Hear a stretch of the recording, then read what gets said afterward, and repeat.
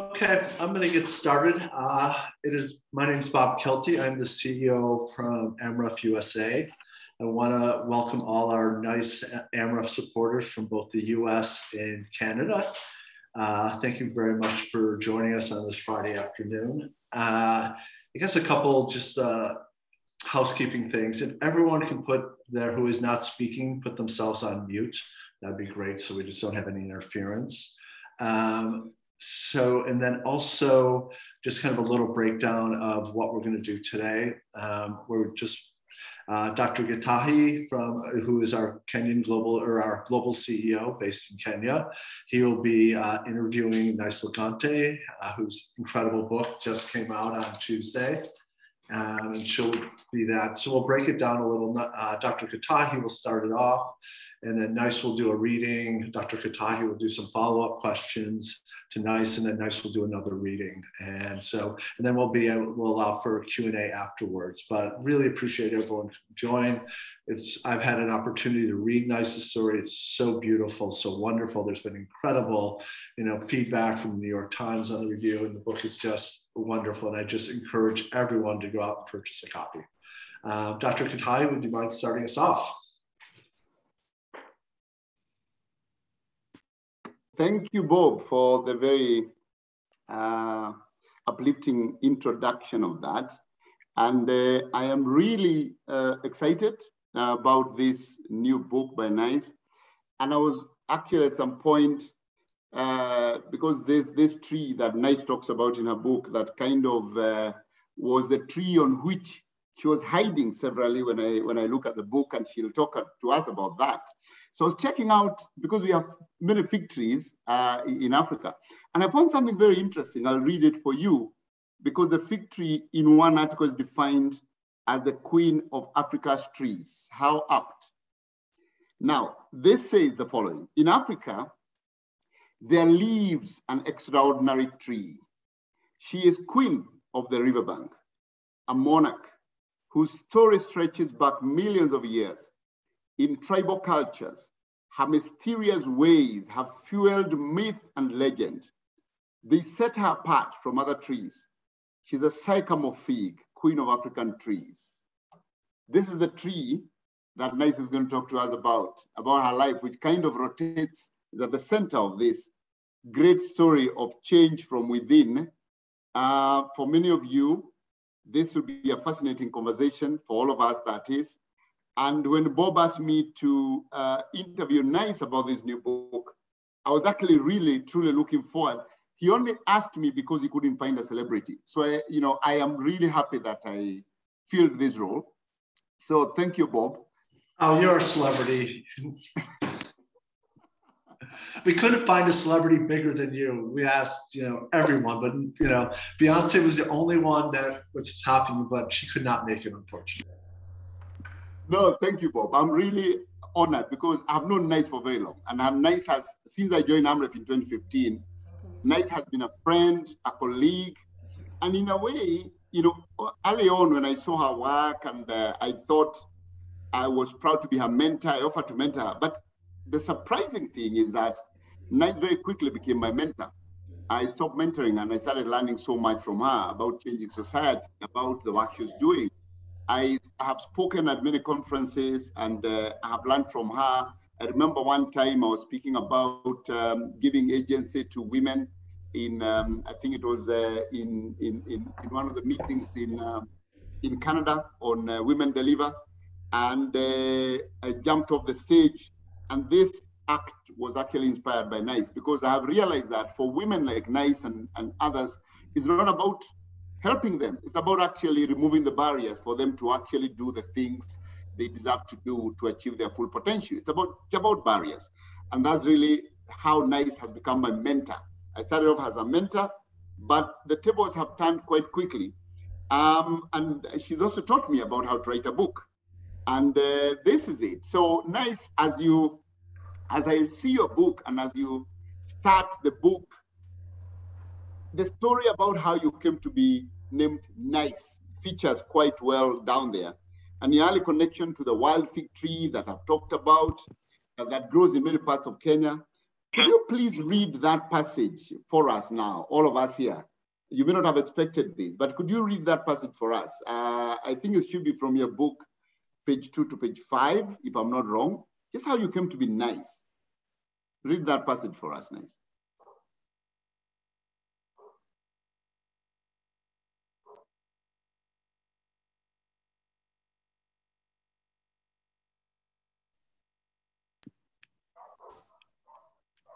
We're waiting for Nice to unmute.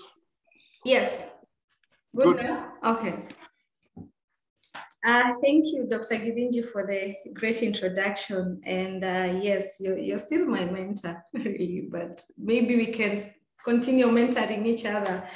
Uh, so I will read, uh, that is from page three to five, and I think it's one of the favorite parts I like reading in this book. So I will start. When I was born, people said that I had a smooth skin and bright eyes.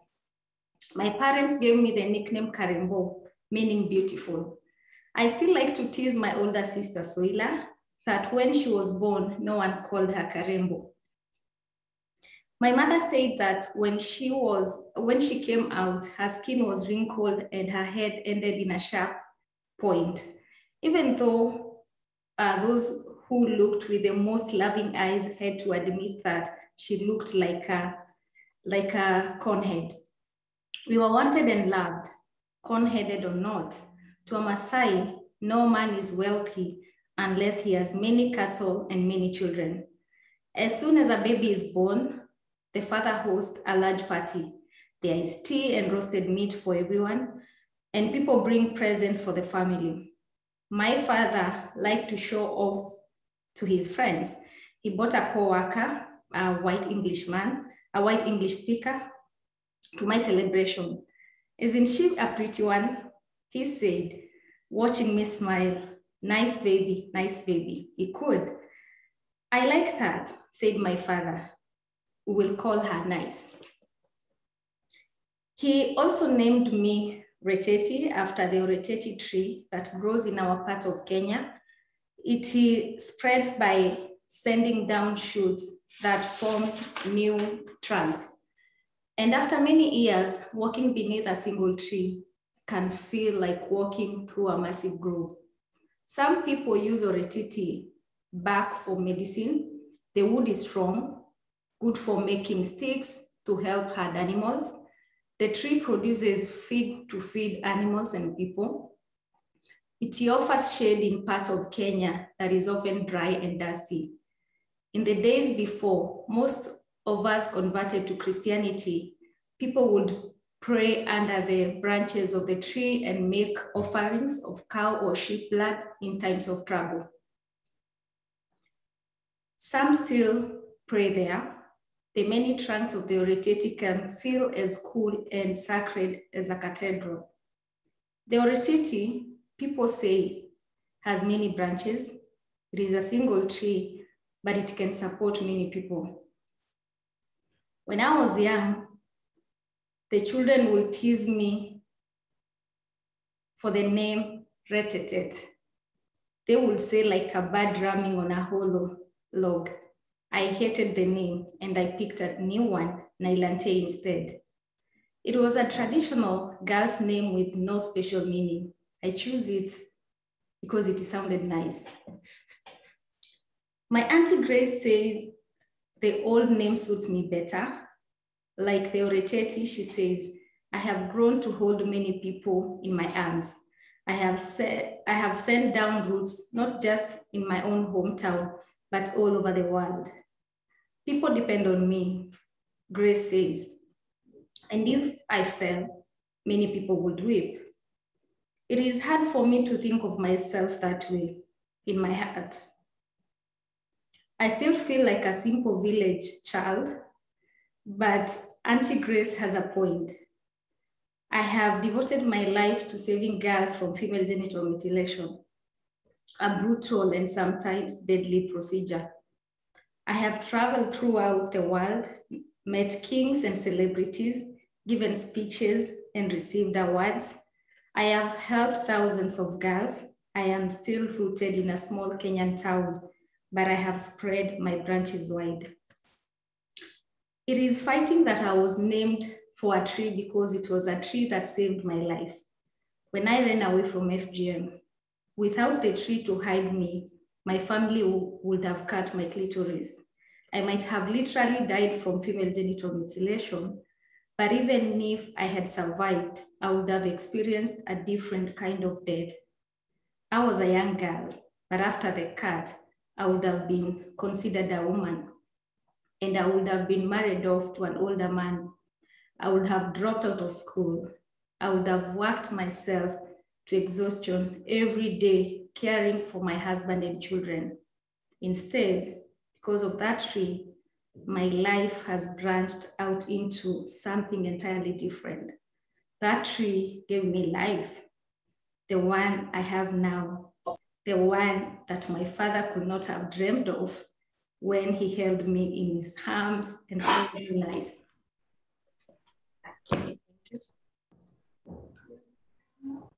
Wow. Thank you, Nice, uh, for that um, very humbling uh, early chapter in your book. And uh, in that section that you've read, you've kind of reflected quite a bit on the practice of female genital mutilation, which affects many girls worldwide. Could you reflect on the Maasai community where you come from? Because we, you know, this practice is all over the world. We know that millions and millions of girls um, face the danger of female genital mutilation, and many, many women have undergone female genital mutilation.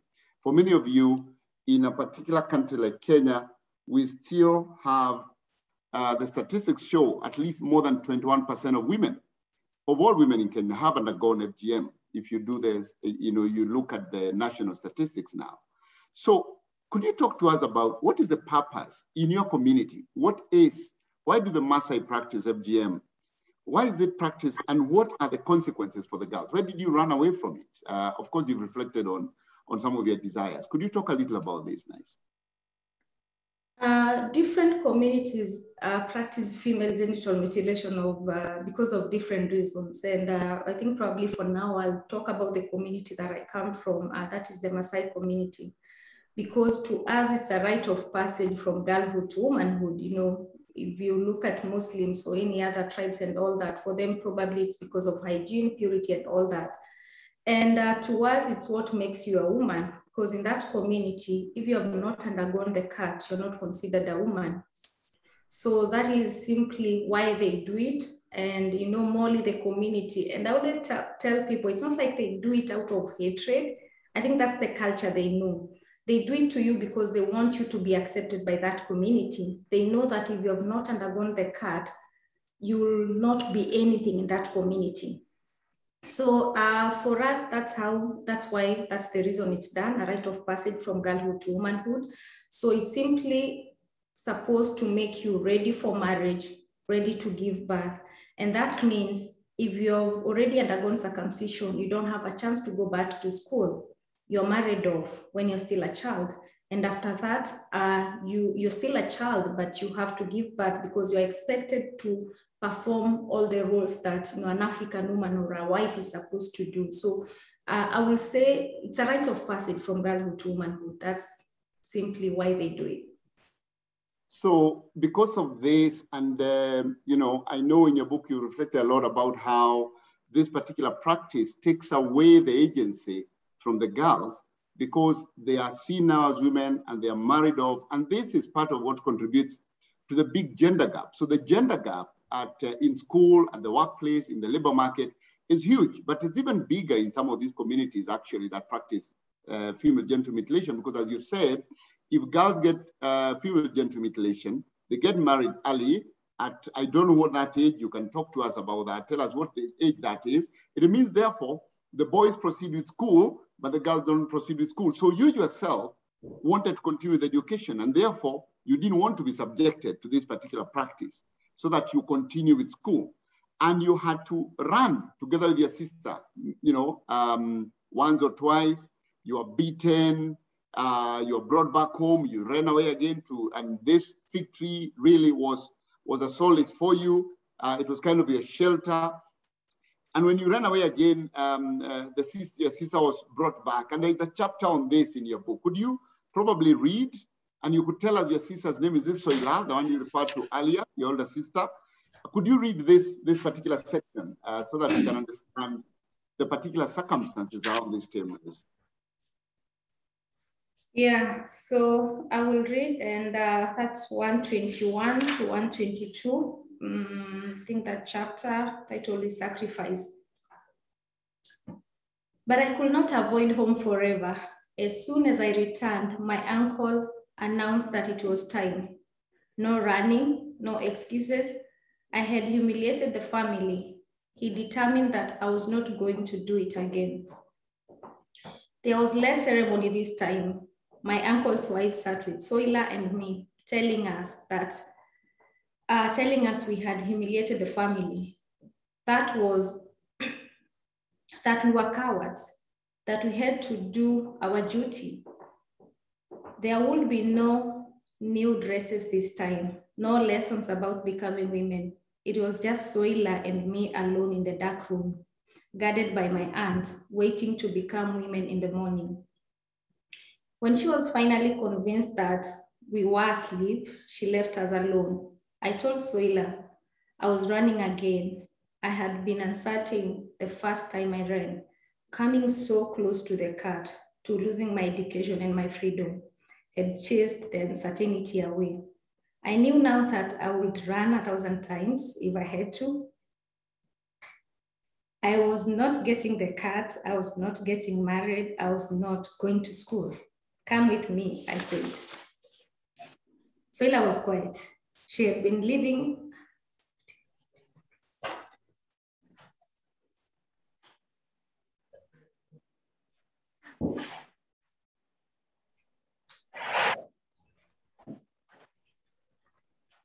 Soila was quiet. She had been living in our town with my uncle. There was no boarding school for her. If she did not get the card, she would have she would have to live with the people constantly shaming her, telling her she was a coward.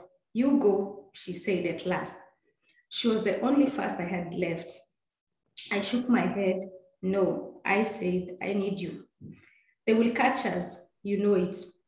I did know it. I remembered the last time. I knew that this time they might be angry enough to hold me down and give me the cut then and there. If no one, if, if one of us gets the cut, maybe they will be happy. Soila said. It was dark. I could see only the outline of her face. Let me do this for you, nice, she said quietly. She spoke with the voice of our mother. It was just like when we were smaller and Soila protected me from bullies. You can go back to school, nice, I am staying. I knew she was right. I knew I could not change her mind, but that did not make it any easier to leave her. It was close to dawn, and if I did not go then, I would never get away. I ran to the same tree and hid, alone this time. I felt the cold more sharply, and I cried. I ached to go back to Soila, to be with her, but I knew I could not. As I waited there, I could hear the songs, and I knew that even if I went back, it would be too late. She was already gone. When it, when it was light, I ran back to school. It was much farther than my auntie's house. And no one was with me this time. When I finally arrived, it was late afternoon. My legs were shaking. I could barely breathe. When Miss Caroline saw my bloody feet and the tears streaming, streaming down, sorry, my, my dad stained face, she did not say anything.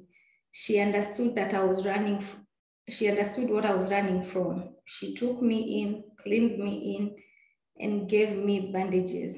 Then she hugged me and told me not to worry. Nice, she said. You can stay with me. You are safe. wow. Um, that must have been very difficult for you, Nice, and for Soila, uh, who literally took a sacrifice for you. That's what sisterhood is all about. And throughout the book, you've actually been very open about these difficulties in your childhood, you and Soila, and um, also the difficulties and the physical abuse that, that you experienced, which is obviously not very easy for each of one of us to tell our story. So why did you decide to be so open and candid in this book, Nice?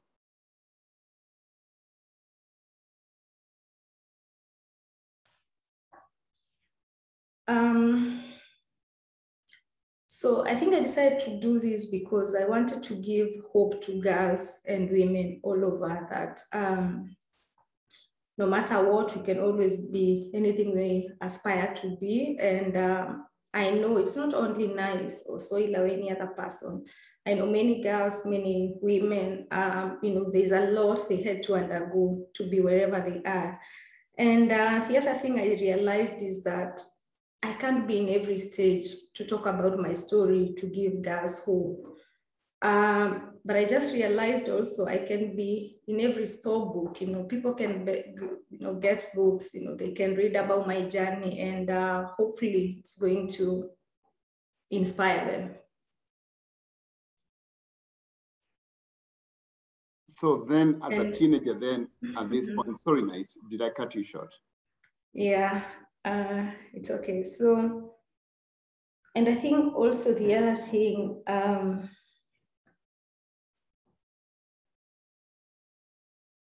it's fine, you can go on.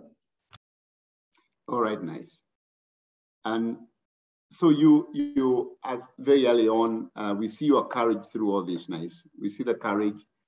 We see the book as your new stage, uh, as you've said, um, telling your story on your behalf. And I know it's, it's very, very difficult. And as you talk about all these issues, even talking about female genital mutilation, about your role as a teenager in deciding to work with your community to end female genital mutilation, it wasn't easy, it's not easy now, even as you tell us this story.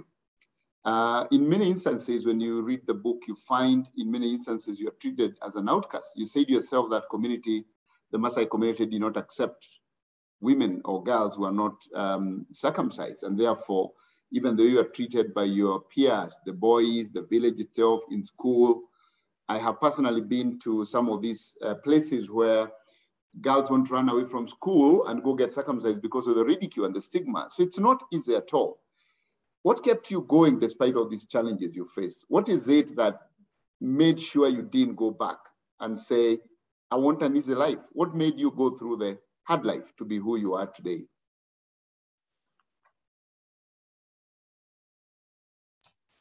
Yeah, and um, I think on that one, um, I knew definitely with education, I can become the woman of my dreams, of my dreams. And with education, really, I can always come back to my community because I didn't choose to go anywhere else or do any other jobs. But I said, uh, you know, people did it for me. If you read the book, I, I have two people who are really important in my journey. That is my grandfather and my sister. Because remember, my grandfather is an elderly person in that community. And these are the people who really hold to culture and traditional more than the younger people. And uh, like my, my, my uncles did not want to support me with my education. They wanted me to be accepted by the community. That's why they wanted me to undergo the cut.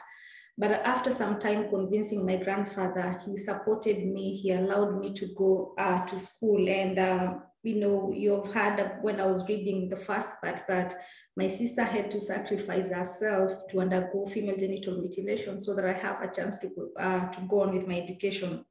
So these two people have really been inspirational to me. And I said I couldn't do it for my sister. You know, I couldn't do it for my friends in school, so my neighbors but it doesn't mean I have to keep quiet. I can reach to other sisters, you know, all over Africa, all over, you know, all over the world. And uh, that's why I decided not to do any other job, but to go back to my community and sit with them and talk about these issues. And remember, it has not been easy because the first time why they also saw me as an outcast. I was given all those names they give to uncircumcised girls. I was helping girls to run away from FGM because I ran away and I thought at that point it was a solution. But later on, I realized it's not a solution. Remember, we have girls with disabilities who cannot walk, who cannot see. Where will they walk, walk to? And remember, it's a cultural issue. We don't want to fight with our parents every day we just want them to understand, yes, we are girls, but we also need a chance to continue with our education. Yes, we are girls, but we don't have to be married when we are still children. We don't have to give birth when we are still children. We also want a chance to continue with our education. But remember, um, at that time, it was not easy because it was a must for every girl to undergo the cut. So uh, I was not able to convince people, but yes, the support of my grandfather made me realize that, you know, I can just do it to other people. And I think that's how I started really going back to my community and talking to them. It was not easy, it took years. And I think there are things I've learned in that community. Three lessons, maybe for the more than 10 years I've worked with them. And one of them is patience when you're trying to change culture, you don't explain, you don't expect change to happen overnight or in a day or in a week. You talk to them today, they reject you, they call you all the names, but you can't give up. You have to go back to them. And remember the Maasai people, uh, you know, I talk about them before uh, because I know them really well. Because remember, that's a culture that I understand and I know it well. I know the things I'm supposed to say in front of elders or young people, and there are things also you're not supposed to say because culture is very sensitive and you have to be aware of that. And uh, so I knew I would go back to them. They will reject me because remember, even talking to men, it took me like three years for them to accept me just because I was a woman. They said, you know, we can't be addressed by a, by a woman. And to make it worse, it's a woman who has not been circumcised. So because I knew like really I have to be patient. I never gave up. I kept on going back to them until they accepted me. And uh, the other thing was uh, to talk less and give people time to talk more because sometimes we think we know everything, but it's always good to for you to have probably a proper dialogue or conversation, always listen to the other person. They will talk about FGM. They will say it's good. It's what makes you a woman. They will talk about many advantages about it. And you have to listen to everything, even if you know it's not right, what they're saying is not true. And then now after you listen, you also have to talk less sometimes. Listen, and then out of that, now they give you an ear and you start having a conversation. And the other thing, because it's a community, I also know not to judge them, but treat them with a lot of love. And I think those three lessons have really uh, helped me when I was working with my community, working uh, back in my village. And that is really how they started accepting, accepting me. Because they also, at some point, wanted to feel like they are part of that change. They never wanted to be left out. They wanted to walk the journey with us. So it took time. And as I said, it's about changing culture, it's about changing mindset, it's about changing attitude. And you know, sometimes people say it's against the law and they really become sometimes very hard with the community. I'm not saying the law is not important, it's very important because you see in Kenya, we have the 2011 Prohibition Act against female genital mutilation. But you see the law itself by telling people it's against the law, blah, blah, blah, will take you to court. That cannot help. It's important because we can shout about it, we can talk freely about it anywhere. But I think the law has to be on one side and a dialogue on the other side. So they go together. As much as we talk about the law, but we really talk to the community and raise awareness and let them understand that where are we saying FGM is wrong? Where are we saying it's important to also invest in girls' education the same way we're investing in boys' education? So I think just working with them, being with them, not running away from that community because I was not accepted, uh, I think it has it has really helped us. It has really helped me to be where we are. And up to now, I'm still in that community working with them. They have finally accepted me. And uh, yeah, it's, it's beautiful to work there. I don't think I would choose any other place to call home or any other community to live with because I always say the Maasai community, as much as it's known maybe for other things like the cut, which is not right, it's a violation of human rights, but I think it's the most beautiful culture you know. It's the only culture that teaches you generosity. The small you have, you have to share with your neighbor. You know, it's the only culture that people are united. You don't find them fighting over other things. It's the only culture that we don't solve everything in courts. Other things we just need to talk, have a dialogue and discuss it and become, you know, one family. So it's it's a very beautiful culture with lots of love. I grew up in that community. Even in my, I think my book, it's well described of how you know, I, I, I, got love also from the same community. So it's, it's a beautiful culture that I, I always tell people every time you visit Africa, every time you, uh, you, you, you come to Kenya, apart from going to national parks, apart from going to mountains and seeing them, I think the real deal is to go and see the Maasai people, how they are living, you know, you know, they are dressing and just, just how beautiful it is, yeah. Wow. Uh, it's a really, uh, I don't know, it's a touching story. And um, your, your lessons of patience, uh, listening and love, and listening to you. And uh, thank you very much for those who are sending comments and feel free to ask questions tonight as well, because I'll hand over to Bob for question time. So feel free to put those on the chat.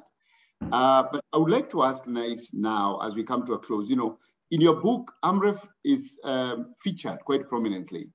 Um, Amref is 65 years old, so you found Amref going on, and uh, but now featured so prominently in this powerful story of change. It's not that Amref employed you, therefore you made change. You're actually making change. Amref just came to facilitate your work, and you continued doing what you're doing even before you met Amref.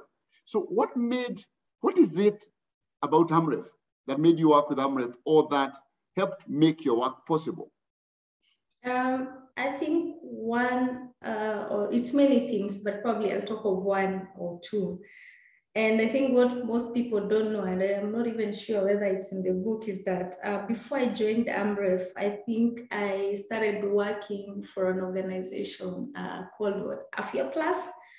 And uh, I only worked for two and a half weeks and I had a contract for a, like a year or a year and a half. And uh, and I think that's when I started realizing what I really wanted to do. Because I think it was more, you know, working with, you know, going to the field and doing other things, not FGM work, not really work that is to empower your communities or make change.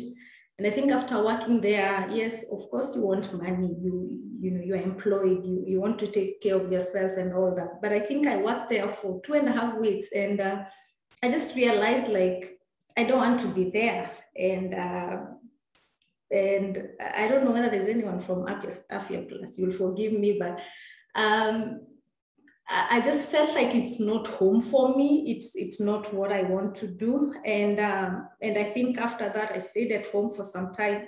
When, when I was in college, and later on, I think Amref came to my village and they said we want a boy and a girl who has been to school, uh, who can be trained as a peer educator, like a community teacher. So remember, I was a bad example in this community. No one saw me as an important person or someone will come and make change. So we had so many boys who, who has been to school because, you know, education was for boys at that time.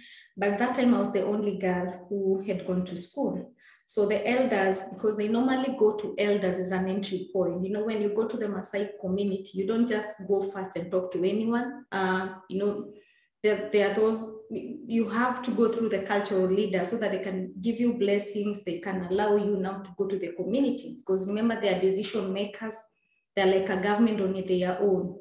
So you can't go without going through them. And if you go, it will become a problem later on. So that's how I was chosen first to join AMREF as a peer educator. Uh, because they didn't have a choice. That's how I always say. It's not like I was the best person or the best girl they wanted to go through that training, but because there was no any other girl, yeah, that's how I got a chance. And uh, when I was trained as a peer educator, now is when, because before I knew about female genital mutilation, I saw my friends undergoing FGM. I saw what my sister had to go through. I saw my classmates and all that. Because remember, as a young girl, you have to wake up and go and witness other girls when they're undergoing circumcision. Out of it, I saw death. Out of it, I saw girls as young as 10 years being married off and becoming mothers. So, uh, you know, whatever I was talking about, it was like experience based, what I was, what I've seen. But now when I was uh, elect, uh, selected to join uh, the peer education training with other young leaders, you know, from my sub-county, I think now uh, I was equipped with more skills. I had more information about FGM. I had more information on other topics on sexual and reproductive health and rights issues. I had more confidence now and I had an ally that I can say, I'm having this meeting. Can you support me to plan? I have this meeting, maybe today we are talking about FGM, but I need someone who can talk about child immunization, you know, hospital delivery, uh, and they will send me a nurse or a health worker and we go together to my community and, and we talk. And I think that's how we started building our friendship together with them. And uh, we started working together. So I could go to my community confidently because I knew I had someone who was supporting me. We could go to other villages and we talk about these issues um, you know, before probably I was kind of shy a little bit. Uh, I say that, but people think I'm not uh, because of my journey and the things I did. But I think I was. I will stand in front of many people and then I'm like, no, I don't think I'm ready to speak and all that. So I think being with them, equipping me with skills, they also you know, made me realize that, you know, I can really talk to people, I can convince people and all that. So that was great because I could now go to different places. I believe, I started believing in myself more that I can make change and all that. And I started talking about that. And I think after like four years, I think I volunteered as a community teacher for four, five years. That's how I got employment with them first as a project office, uh, as a project assistant uh, for the UFBR, United for Body Rights Project. We're still working on FGM issues and child marriage and blah, blah. So, and I felt like it was home because one, I was working in a community that I understand. And um, not only me, if there's any organization I know that is really empowering local community members is AMREF, not because I work for them, but you know, out of experience and the things I've seen. If you come to the organization I work here now, like 80% of the staffing we have there are local community members.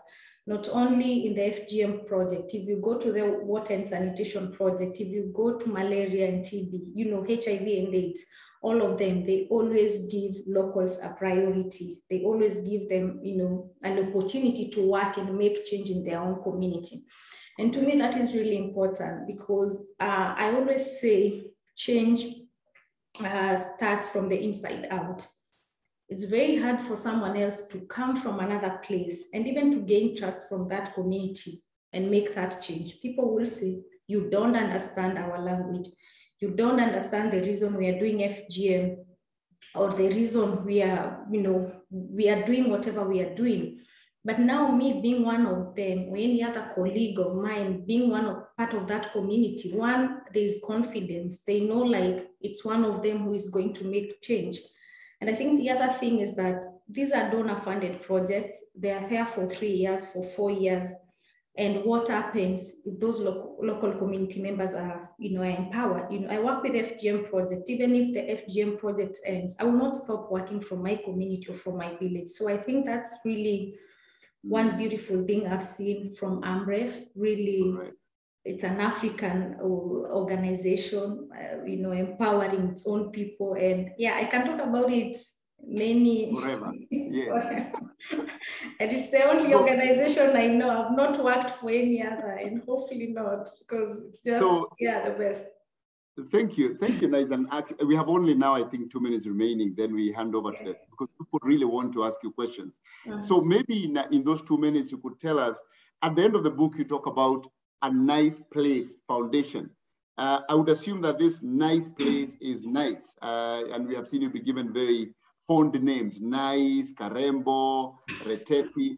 So could you tell us about this nice place foundation in two minutes about It's a leadership uh, center. It's from land that was given to you or donated by your father in the village that you grew up. What does it mean to you personally to see something like this come from your community, come up? So maybe in just two minutes, tell us about a Nice Place Foundation and your dream for it. Thank you. And um, I'll try to use two minutes because, you know, my work is to talk. I, I love talking, so sorry. And uh, A Nice Place is a leadership academy and a rescue center for girls. Uh, remember, we've been working on FGM issues, saving, protecting girls either from FGM and child marriage. But we're not saying we have saved the whole, uh, you know, either Kenya or, you know, the whole of Africa. We still have girls who are running away from either FGM or child marriage and for many years, we've not been having a place to keep them. So I'm happy that now, you know, a nice place, safe home, uh, will be able, you know, girls have like a runaway, a place where they can go, they are safe, they are protected from all these harmful practices, and they also have a chance to continue with their education. We also have the Leadership Academy part, and we really, we've been able to reach over 20,000 girls from the alternative rites of passage. We call them, uh, yeah, you know, there are so many, I call them younger nices. And uh, we really want to continue equip the, equipping them with more leadership skills, advocacy skills, because, uh, you know, they are the future champions of Kenya or, you know, of Africa and all that. So we'll just be equipping them with different trainings uh, that will go for like three years. It's like a summer school one month in April, one month in August, one month in December. And then after that, we'll be connecting them with different organizations because we want to see really, we also want to nurture their talents. Some of them might be good in different things. And I think we'll really have like, you know, trainers who will be able to do that. So it's a beautiful project that I'm really proud of. It's one of the dream projects I've always wanted to do. And now that it's coming to a reality, um, I'm happy about it. And uh, we are opening it uh, officially next month. That's the 11th of October. And that's the day of the girl child. So we felt like there's no any other important or special day uh, than that day for us to do the official launch uh, of a nice place. So for whoever who is around Africa or close to Kenya or who is willing to travel to Kenya, because winter is about to maybe get here, you're all welcome. Great, thank you very much, nice. As I hand over to Bob, I'll ask you one last question that just needs one answer. Which name do you prefer, Nice, Karembo, or Reteti? Reteti now that I understand it. Good. Thank you. And over to you, Bob. There's so much we could talk about, but we won't finish this because there are so many other people, your fans from US, Canada, who might want to ask questions. So over to you, Bob, uh, from now. And thank you very much for sharing your story. Nice. Thank you. Yes, nice. Thank you so much. Your story was so beautiful. And I've I've known you for seven years, and Nice is so much more than her story. Um, she doesn't really hasn't even had a chance to talk about her brilliant community organizing skills. And I remember the first time I met her, we spoke. She spoke for hours upon hours on how to organize her community. And I was a community organizer originally. About her age when she started, I was like, wow, I knew nothing. I knew nothing. So her story talks about there is her story, but also all her strategies, her techniques, and how to move her community forward are really wonderful and enlightening for anyone who ever wants to be an organizer. Um, so, and then I just noticed that folks, and then I'll turn it over, are asking questions how they can support NICE in other ways. Um, I think someone put uh, one of the ways the US office has been supporting is I think we've given over 300 scholarships to girls to support their education. And as Nice will tell you, there is no better investment than supporting uh, a young girl who's being rescued. So there's absolutely, we can, you know, provide, you can go to the website, just mark that you want to give to a nice place and we'll make sure we provide some more scholarships for girls. And Jenny, I can't, are you, do you have a track of questions that people have been asking? Would you mind just asking Nice that? Yeah. So, nice. One question that came in I really like was What is your favorite experience that you have had in the last few years as your story has become more well known? Sorry? What is your favorite experience you have had in the last few years now that people are starting to hear your story as you are becoming more well known? Have you had any exciting experiences as people learn about your story?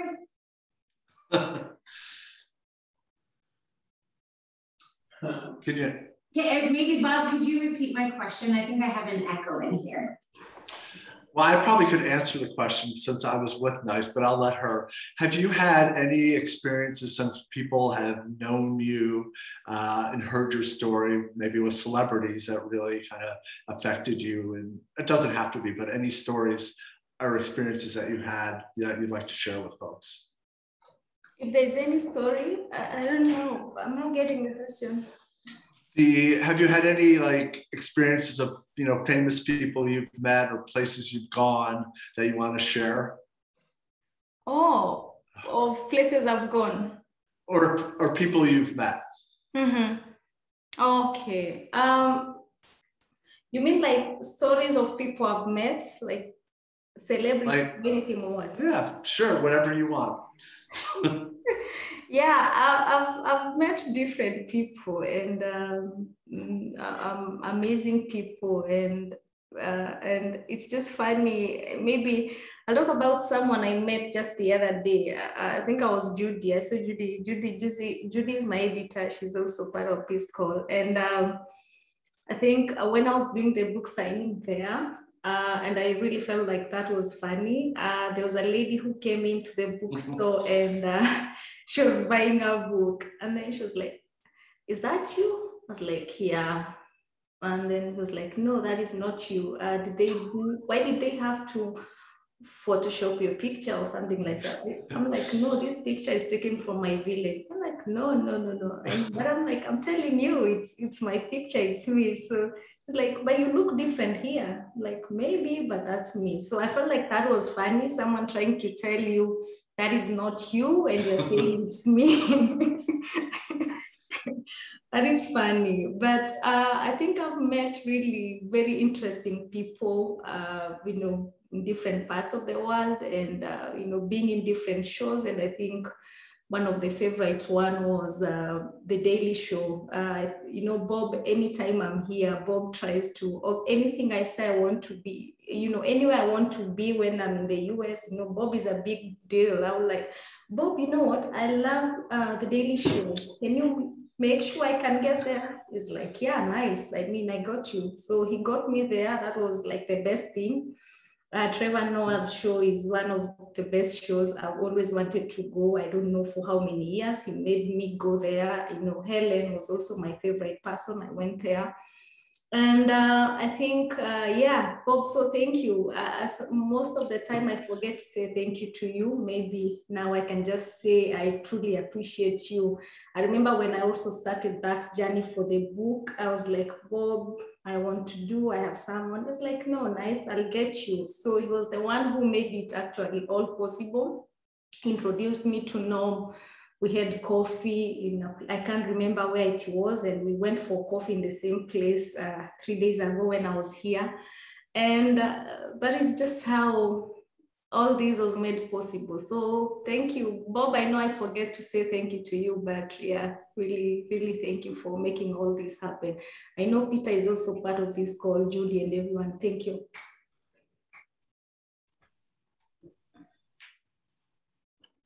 We did have um, a question for you, Nice, or for Dr. Gitahi. What does Reteti mean? Tree. Ah. What is? Reteti. Oh, what is Reteti? Yeah, you know, I like that name because I was given by my father, and uh, Nailantei is not my name, as I was reading in the first part. But as a child, you see, I didn't understand much the deep meaning of that meaning of that name. And uh, you know, Reteti means hope or hope for the community, hope for the future. It's a very special tree back at home. Even if there is drought or anything, uh, people feel like if they have the tree around, they're sorted out with everything. So it means hope.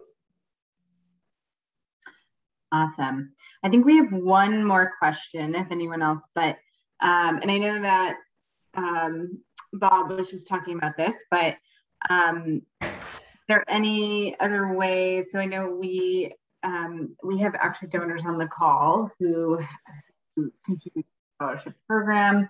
Um, all of our donors do help in some way um, who give unrestricted money, but we, are there any other ways that you would say um, that your work can be supported by AMREF or by donors on the call?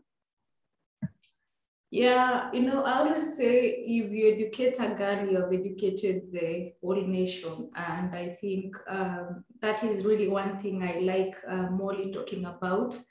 And just the other day when I was saying, uh, you know, I wish, you know, the way we have mobile banking in Kenya, we are using technology to do that. You can access your money from the couch when you're seated back in your home. You don't have to go to the bank. I wish we can spread education like that and make sure girls, you know, have opportunity, you know, to get an education and all that. So I think Bob will be the right person to help me answer that question. Yeah, but really supporting girls' education, supporting women empowerment projects, it's it's it's the way to go. Emily, might, would you explain how much it costs, you know, in the project we work with uh, to provide scholarships for girls? Sure. Um, it's we. I think the last couple years we we usually say around five hundred dollars per girl, um, which provides uh, their education fees for private for boarding school as well as dignity kits, um, which are basically backpacks that we provide for each girl with all the um, necessities that they need for school, including a mattress and bedding, um, sanitation uh, products, things like that. Um, and then we do education um, on hygiene, skills building. Um, we do on women's rights, on, um, you know, whatever else they would need to um, self autonomy and kind of uh, whatever they're not learning in school. We also make sure that they are learning like these life skills. Um, and then they, we also will do peer education training and um, mental health training and kind of make sure that they are having a holistic experience at the boarding school as well. And then, uh, sorry, we had someone raise their hand. Or sorry, Bob, we was and then the. Oh no, I was just going to ask if there was more questions. Yeah. So, um, Dorcas, I think you raised your hand. Did you have a question? I think actually she's might be paused. Let me see. Hello, I'm trying to talk. Ah, okay. Oh, okay, okay, okay. Thanks a lot. Um, nice. Um, I I really enjoyed your presentation and your courage and everything. Um, I've been in Kenya, I've lived in Kenya for some time, about two, almost three years, and I'm currently in school in the US. So I hope and I pray that I get to meet you some other time. Uh, my question is, you said, um, for instance, when the AMREF and all those groups came to your village, you were among the few girls, or you were kind of the only girl who was edu- um, who had gone to school at that time. Um, but I know from from um, experience and meeting people, I know if, um, a couple of Maasai women and ladies who live elsewhere, like all over and in the cities, let's say in Nairobi, who are successful, who are, um, I mean, they are mentors and everything.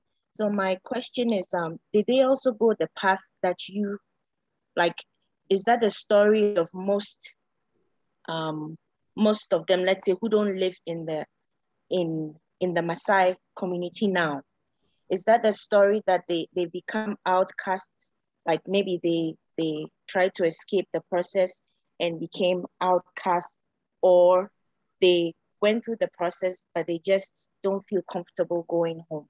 Yes, I'm I'm asking this because of my own personal, like not to me, but I know coming from an African country, you know, all that you said, like that thing about the stigma, it's it's really it's real and it affects people in a lot of ways. So I just want to find out if the other Maasai women who are so resourceful but are outside the community, is it that they still face that kind of stigma? That's why they can't come home or they are able to come home even if they've not gone through the cut. Thank you. Yeah, thank you. Uh, you know, it's it's uh, not really a difficult question, but I will say it depends because you have people probably because of career and education, they just chose another path and uh, probably they got married somewhere else or decided to live outside the village and do other things. But I'm not saying they're not also contributing, uh, uh, uh, you know, to the community or anything. You know, that's you know, it depends with how people decide, you know, to live their life. But uh, I get your point that you know, stigma is there, and um, it's there to both sides. It's there to girls who have not been circumcised, you know, it's also there sometimes to girls who have undergone the cut. And uh, we all know already over 200 million women globally have already been affected by the cut. So even for us in our work, it's not just about protecting the ones who have undergone circumcision, but also trying to ensure we support the other ones. Uh, we give psycho social support to the women who have also undergone FGM. So uh, we have women who we are working with, or you know, they are also our champions, you know, who have undergone the cut, but also they have now come back to support girls, you know, to work in our BR projects and all that. So it's it's it's different. You might decide to live here, live anywhere else, not because you're not accepted in your community, but just because you know, probably you feel comfortable, you feel safe being there. And uh, you see right now the community, uh, you know, if uh, the attitude towards FGM has changed. It's not like before. Maybe our time, you couldn't speak out and say, I've not been circumcised, or, you know, probably have undergone the cut. You know, but at that time, people were not sensitized a lot about the issue. But you see, right now we have the law. We like in Kenya, we have the anti-FGM code, whereby you know it was initiated by the president. So in Kenya, I would say everywhere, you know, in televisions, in radios, we have different organizations just like Amref who are doing the same work. So I think now people are aware about the issue, people accept each other, people talk to each other. So it's not like when you go back home, you're not safe. No, others are, others are not. Yeah. Thank you, Nice. Um, we only have a couple minutes, and I just want to thank everyone from Canada and the US for joining us. And so this, we're videotaping this. Uh, so I'm just going to ask folks because you know we wanted to sell as many books as possible for Nice and to let people know her great story. Um, we'll send everyone a video with a link to purchase the book. If you could share the video with friends and family, post on social media. I think we have social media materials that we'll send out. But please, you know, we had a great audience here, but please pass. Uh, uh, get the word out. Good. Uh, Dr. Gitahi, would you like to say anything? No, mm, no, Bob. Nice. It's just to thank thank Nice for her very powerful story and being vulnerable enough to share. Thank you. Nice. Any final words of wisdom? Not really. Going after Dr. Githinji, you know, he's, uh, I would say, a person with lots of wisdom, but just to thank everyone for making time for this. I truly appreciate it. Thank you, Nice. Thanks everyone for joining.